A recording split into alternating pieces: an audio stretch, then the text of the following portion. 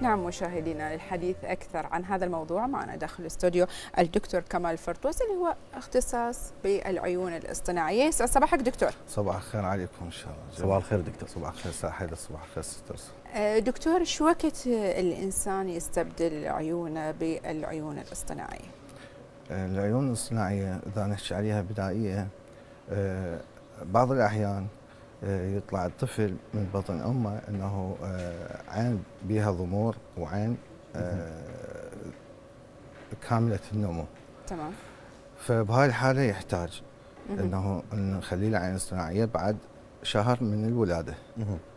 و... وأكو أمراض تصيب العيون مثلا الكانسر أو أمراض الاحتلال الشبكية أو التلف بالقرنية أو فقدان السائل الزجاجي يعني آه، شدة خارجية ضربه آه، يتعرض لها الشخص. ف آه، يفقد عينه اللي فإحنا نعوضه بشيء تعويضي يسموه نعم. اللي هي العيون الاصطناعية. نعم. دكتور تعرف هو يمكن بعض الأحيان تحصل بعض الحوادث فيؤدي إلى استبدال آه العين. أريد أتحدث عن جانب دكتور آخر. يعني يمكن هسه الناس من نسمعك نقول لك أنت شلون بإمكانك تعيش فقط يعني بعين واحدة أو شلون تتوازن اليوم؟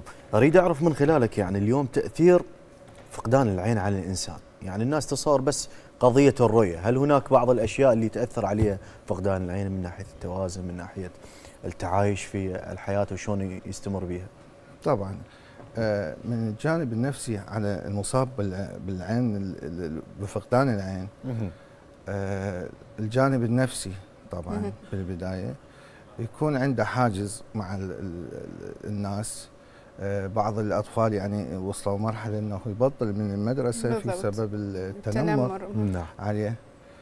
فبعد ما نسوي له العين الاصطناعية ونلبس الهيار شو يمارس حياته طبيعية وي وأكو فد شيء شائع آه، إنه يقولوا له خلي يصير عمرك 18 سنة بعدها يلا تخلي العين الاصطناعيه هذا الشيء يعني ما موجود. للأسف غلط. المفروض وهو صغير.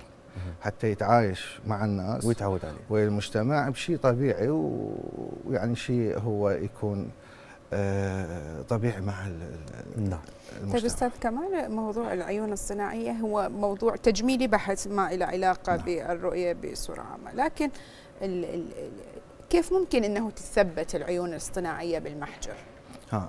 العيون الاصطناعيه تجي على نوعين أكو الجاهزة أكو زجاجيه ألمانية وأكو بلاستيك وأكو الأكريليك اللي إحنا شنو الفرق بيناتهم أساسا؟ هذني هذني اللي يجن الزجاجية والبلاستيك ذني جاهزات يجن بصناديق من يعني يستوردوها هم قياسات معينة وتفاصيل؟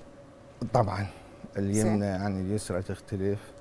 ومن حيث اللون والشكل والهذا كلها تختلف. الاتساع يأثر أيضا؟ طبعا أكيد. زين. آه يجي واحد مرات قالع عينه مقلوعة أصلا. فهذا يعني يصير عمله غير عمل اللي عينه موجودة. بكل الأحوال إحنا شنو نسوي؟ شنو اللي يثبت العين الاصطناعيه إحنا نثبتها من خلال البصمه ناخذ طبعة.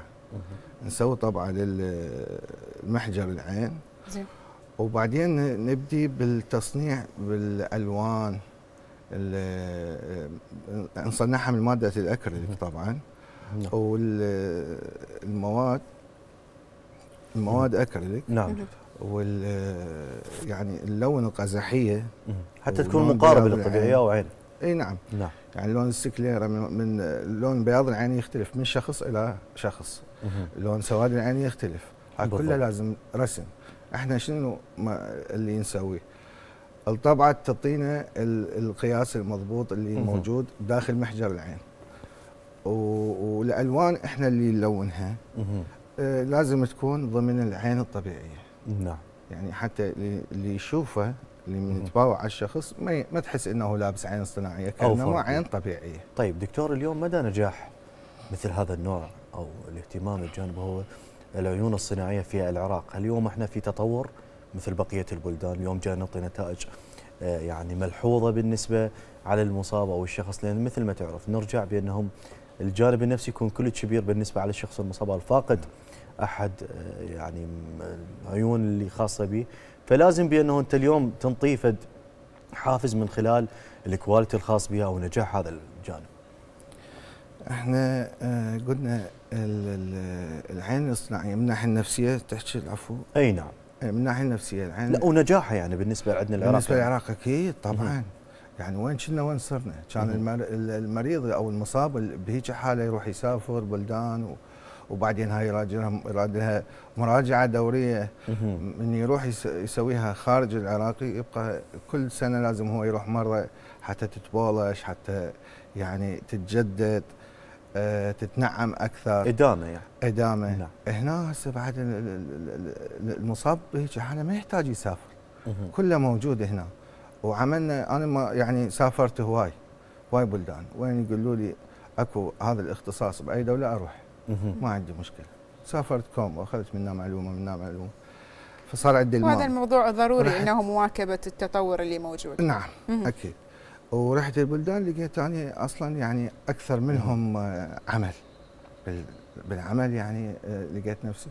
وكل عكس رحت بلدان لقيتهم متطورين بالعمل. فأخذت معلومات. وحتى البلد اللي أسافر مثلا وما أستفاد يعني كخبره من يمه أقول الحمد لله والشكر إنه أني وصلت مرحلة يعني بهذا المجال.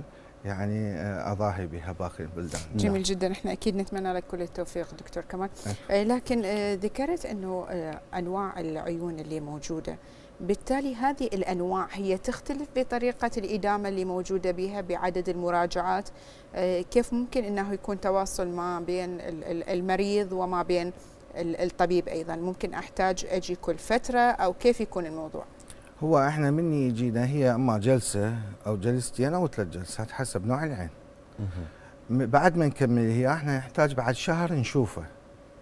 لأن أحيانا يعني كل شهر لو لا بس بالبداية. تمام. بعدين يبقى كل سنة مرة لازم يعني يراجع اللي صنعها يمه. حتى يعرف الفروقات اللي تصير عنده. مثلا اللي لابس أول مرة ملابس قبل يختلف عن اللي لابس قبل. اللي الطفل غير الكبير. يعني الطفل يكبر كل ما يكبر لازم توسع الهيات تكبرها. كل ما يكبر محجر العين كل ما أنت لازم تعوض هذا النقص. ليش؟ لأن هذا العظم مع هذا العظم إذا ماكو شيء يستند عليه يبدي بالضمور. فتلاحظ اللي قدماء يبقون. تلاحظ هذا المكان يصير عنده يعني يصغر. يصغر. هذا المكان مستمر بالنمو. يعني بعض الأحيان يجون أطفال ما يكتشفوهم. يبقى فترة يبقى فد ست اشهر هيك. يلا يشوفون عين بدأت تصغر وعين بدأت تنمو وتصير يعني طبيعية. فهذا الشيء إحنا نعم. حتى الأطفال ننوه إنه فحصهم بعد الولادة. بالنسبة للعيون. حتى شو. شكرا لك دكتور كمان نورتنا اليوم الله يسلمك. وعرفتنا في هذه المعلومات الخاصة. كون اليوم إحنا نحتاج مثل هذه الكوادر المهمة في داخل العراق أحسن مما اليوم نروح. ونذب اموالنا خارج العراق والإدامة وما تعرف حتى مستوى النجاح هذه العمليات أو هذه التجارب. شكرا جزيلا لك. شكرا, شكرا لك شكرا, شكرا جزيلا.